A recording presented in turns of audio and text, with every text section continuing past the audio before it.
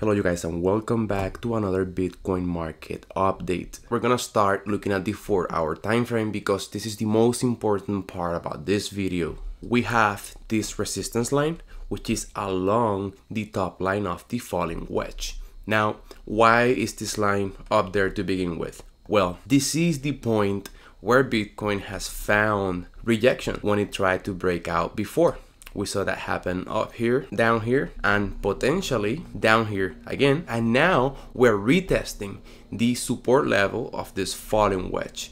If bitcoin is unable to hold this yellow support level we're likely to break down and re-challenge these previous lows at around $33,000. Now, this is also the point where Bitcoin could actually form a confirmation because if we hold this support level, eventually breaking higher than we did before, this could be considered a confirmation. But so far, we've only found rejection. Also, the Bitcoin long to short ratio on Binance is down to 0.85. So at the time of recording this video, we have 15% more shorts than we do longs. Man, the bears are out there. So now we're stepping back a little bit and we're looking at the daily time frame. Here you can see the falling wedge a little bit better and the white rejection line as well. Looking at the bottom of the screen, we have the RSI potentially holding support above the resistance level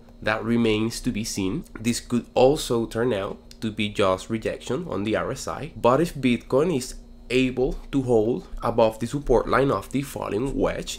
Eventually, having a confirmation, we could see Bitcoin begin to move higher. But yeah, we have to wait and see if this uh, bullish divergence is really going to play out. Then here we have Bitcoin on the weekly, the RSI down to 39, and as you can see, we are holding above the 100 moving average. Also, Bitcoin on the monthly, we have the 20 moving average, which is $36,766. So we're just a little bit above that. But pretty much we still have a technical uptrend based on the 20 moving average. Is this a bear market? Well, based on volatility, we are already in a bear market, but you shouldn't assume that since we are in a bear market based on volatility, you shouldn't assume that we will be in a bear market for an extended amount of time. And I'm talking about two years, uh, you know, three years, uh, something like that, which is what most people tend